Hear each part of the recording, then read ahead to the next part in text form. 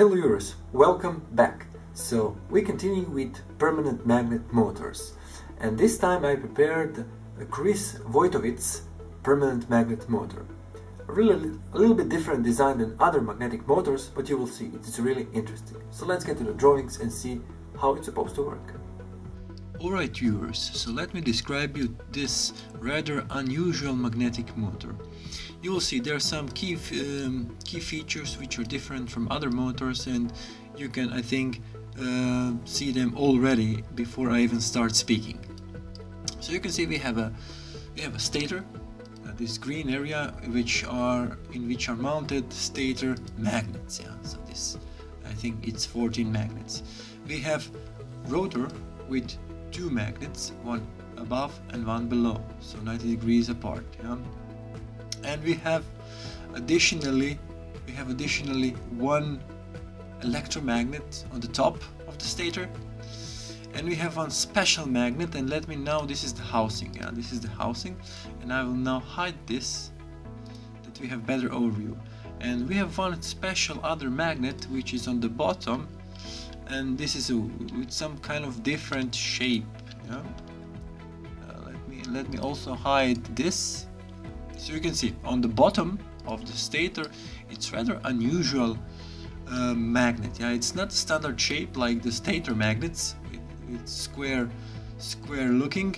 It's it's like a round magnet but it has some kind of slope on the end and that is used for decrease the cogging effect. Yeah? so that is how it's described in the patent you can read it.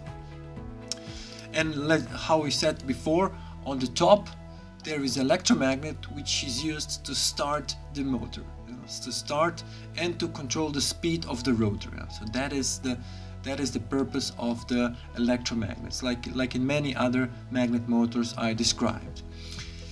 And if I turn this around you see that there are so this is the main shaft of the rotor. And now I will turn it around.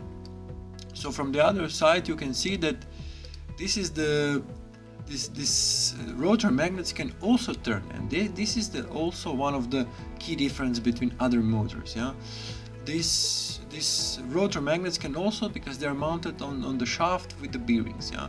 And I really didn't figure out if this is controllable from the outside source or electrically but basically this is the idea. It must have also the rotatable rotor magnets yeah?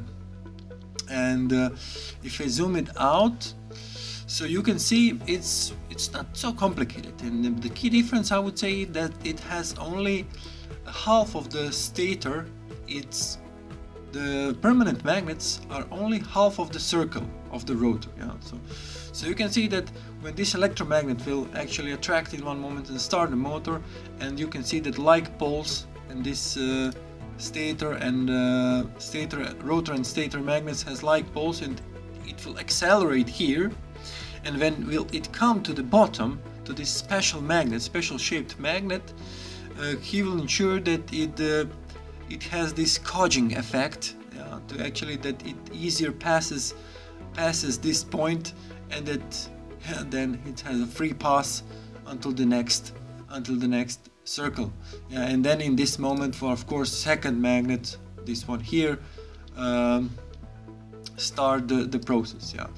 It says that uh, in the patent that uh, it only permanent magnets are uh, needed for this to work and this uh, and this electromagnet is only used to start and to control the speed of the motor. So I'm not sure but uh, it, it's written in the patent then please have a read it so you'll, you will know yeah and this is it. So the key is in this pattern is we have a special uh, shaped magnet stator magnet last magnet on the stator which is used to reduce the cogging effect. So basically uh, this is effect to not to stop the rotor or that opposing magnetic field do not stop the rotor.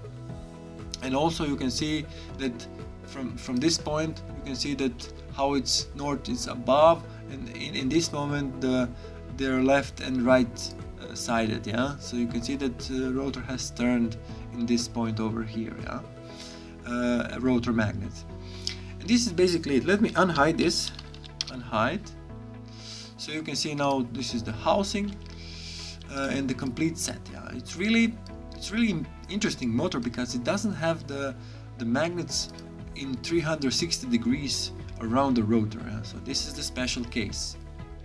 And let me now put it a little bit in the X-ray mode because it helps always a lot with explaining. So you can now see that there's really the, the uh, ferromagnetic core with the, the windings and this is actually our electromagnet in the end. These are the stator, ma uh, stator magnets. This is the rotor. The and uh, this is the support for the let me turn this indifferent on the other side so you can see this is a uh, bearings for the rotor magnets so from up and then down. And this is it. Nothing hidden here. Really simple device. Uh, and uh, yeah it would be nice to replicate this one and to see really if, if it can work in maybe please do uh, post some comments whether you think this uh, can work or not work. But from my point of view it's a really really nice nice and clean design and um, uh, whoever wants to know more please have a read the patent. I always put the link below. Alright viewers, so that was Chris Wojtowicz permanent magnet motor. A little bit different motor you saw because it has only two permanent magnets on the rotor which is actually rotatable and it has uh, half of the path uh, of the rotor. There are permanent magnets on the stator.